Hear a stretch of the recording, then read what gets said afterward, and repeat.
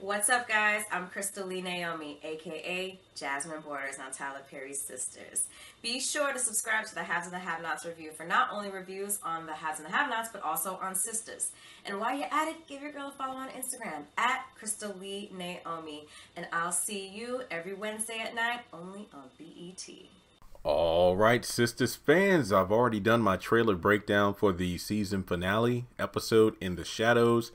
Um, honestly, I don't think there's too much for me to talk about. Like I said in my episode review, the episode itself was meh. I mean, it did have some moments, but overall, we were just recycling the same tired dialogue. Andi's not going to listen to anybody but her own self and her feelings. Uh, Sabrina and the Calvin thing, nobody gives a damn about that. Even Danni and Maurice speak for the audience, where it's like, look, get over it. We don't care.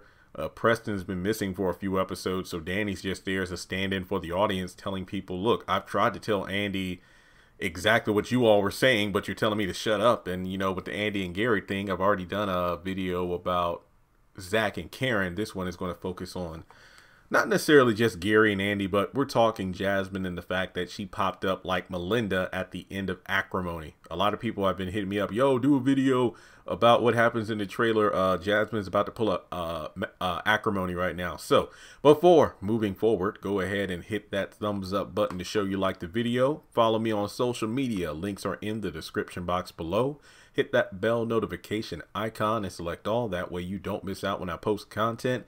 And if you are a frequent viewer of the channel, I appreciate the support. I'm trying to increase the percentage of watch time that comes from subscribers. So if you have not subscribed, hit that subscribe button. Trying to reach at least 40% watch time by the end of the month. So will Jasmine kill Andi in the season finale? I think it's a simple no because they've already filmed season three and KJ Smith is in it. But you could argue, well, Jeremy, even if she dies in the finale, she could be brought back for the first couple episodes. No, no she's she, she's going to be fine. Given that Jasmine breaks in, um, remember continuity. Jasmine knows where Andi lives. She was actually at the um, at the apartment last season when her, Leslie, Gary, and Andi were together. So Jasmine knows where Andi's at. Now, does she know Gary's over there? Does she know Gary is spending the night? I mean, in the trailer, I do believe that Andi asked whether or not um, Gary wants to move in. So I don't know if Jasmine was following, watching Gary, because remember, towards the end of season one, she knew that Gary was over at Andi's apartment, hence why she wrecked the car and everything and waited for him to come out. So one could argue that the same thing happens here, where um, Jasmine follows Gary, knows that he's over at Andi's place. But she also said in the parking lot, this ain't over, B. So who's to say that she wasn't planning on going into Andi's place that night, regardless as to whether or not Gary's there? Who knows? My biggest question is, wasn't she supposed to be arrested? I mean, I'm just saying now, there there was a police report, so that, that two two things can be true here. Well, technically three. Number one, just bad Tyler Perry writing. You know how the fact that realistically a lot of stuff that is supposed to happen doesn't really happen. But also, um, well, how stuff happens in the real world isn't how things happen in Tyler Perry land. Also, number uh, two, maybe Jasmine laid low until that night where she broke into the house. That's another possibility. Maybe she just wasn't arrested from that. Number three, she got arrested but somehow got bail. Hmm. I don't know. Not to mention, I mean, you could make the argument maybe the two girls take the fall for her and then Jasmine gets out promising that she'll get them out somehow. Because remember, there were no security cameras in the parking lot. Apparently, there's only security footage from people going in and out. That's another thing to keep in consideration. Except remember, uh, Hayden has everything recorded. He has it all on his phone. So, um, let's just forget the big plot point of how the hell is Jasmine there. I mean, shouldn't she be arrested? What do you think she's going to do with Andi? Babe, is that you? Oh no, baby, it ain't. no, it's me. So, um, like I said in my trailer breakdown, I mean, it might seem like Andi's worst nightmare, but to have Jasmine standing over my bed, oh God, that would be a dream come true. So the question is, what is Jasmine planning to do? Uh, probably shoot her because of the fact that Fatima had a gun. She's already said she has nothing to lose. Karen hinted at shooting Gary if he ever did anything to hurt her friend Andi again. So let me just be real. We saw Melinda with a gun. I think it's safe to say that Jasmine's going to have a gun. But will she shoot Andi? I think it's probably going to be Gary. Think of it this way Gary is probably still there. And plus, Andi wouldn't say, Baby, is that you? if Gary wasn't there that night. Also, you look at the fact that towards the end of last season, Gary just couldn't win for losing. He was actually trying to do the right thing. He was being kinder to Andi.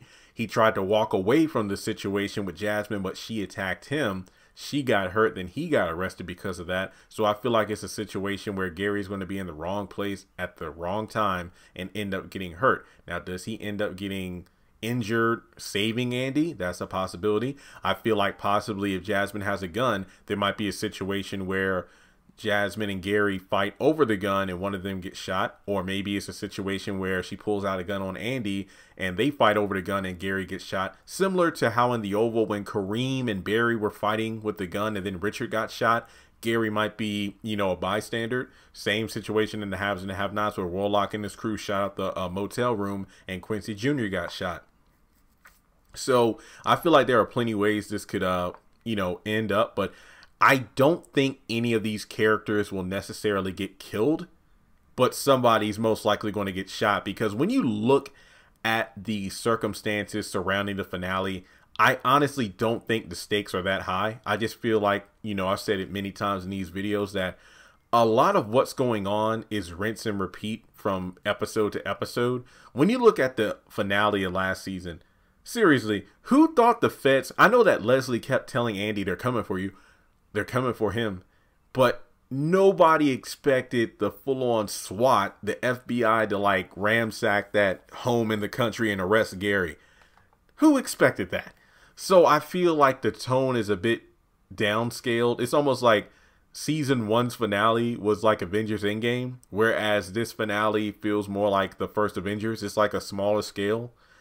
So I don't think that um, somebody's going to die necessarily, but I feel like somebody at the very least will get shot. I mean, hell, last season you had a couple people get shot. Zac got stabbed. Yeah, that's right. Was it? Aaron's ex-wife shot herself. The mother-in-law came with a fake gun. Bean got shot by Karen after he stabbed Zac.